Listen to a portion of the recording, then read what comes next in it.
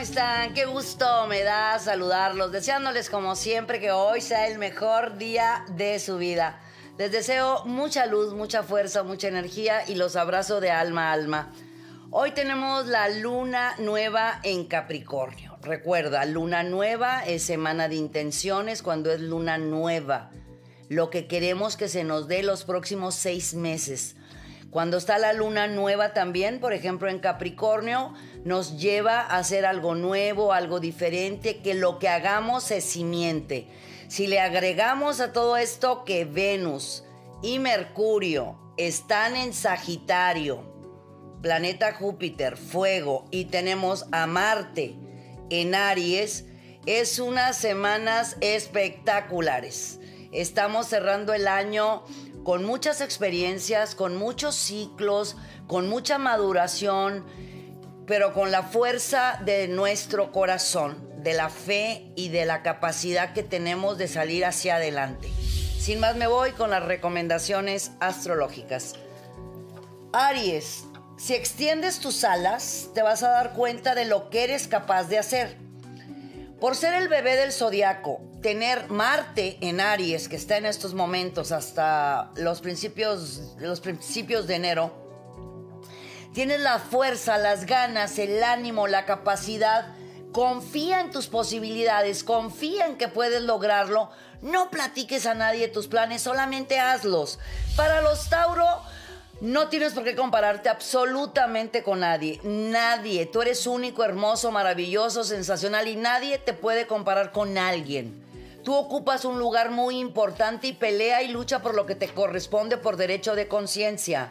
Para los Géminis, estás esperando noticias importantes que tienen que ver con tu vida laboral y profesional, vas a recibir muy buenas noticias el día de hoy sin pasar del día de mañana que te van a dar un gran respiro y mucha tranquilidad en tu vida personal y económica. Los cáncer pues quítate el antifaz de los ojos, amor, para que veas las cosas exactamente como son. No exageres los acontecimientos. Todo lo que estás viviendo le podemos llamar salirnos del círculo de confort, crecimiento para tu conocimiento, eh, eslabones de la gran cadena para avanzar en los planes de vida. Se llama experiencia y conocimiento. Y tú sabes cómo lograrlo, mi querido cáncer. Para los Leo. Hay muchos planetas en fuego que te están ayudando, como Venus, Mercurio, Marte. Aprovecha las oportunidades, mi vida, en cuanto se presenten. Claro, también canaliza tus impulsos y tus emociones. Para los Virgo, tu intuición, percepción y sueños premonitorios están claros, pero muy claros. Escribe toda esa información maravillosa que te está llegando, porque va a valer muchísimo la pena las próximas semanas. Para los Libra. Dentro de ti están las respuestas a tus dudas, agobios o inquietudes. No busques afuera lo que llevas adentro. La felicidad es simplemente interior. La felicidad es ser, hacer y tener lo que tú quieres ser, hacer y tener.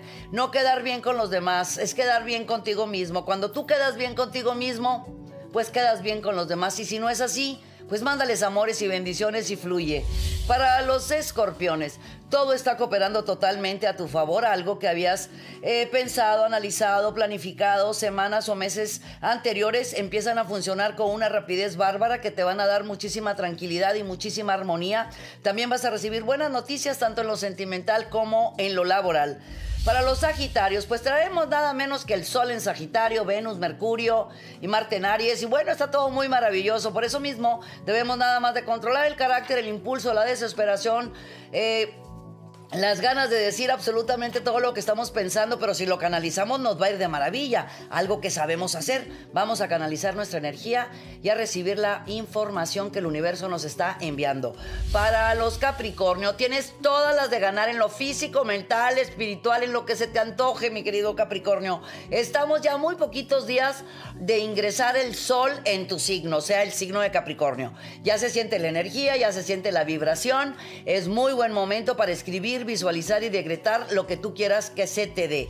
Para los acuarios, renacimientos, cambios, oportunidades, cosas nuevas, cosas diferentes.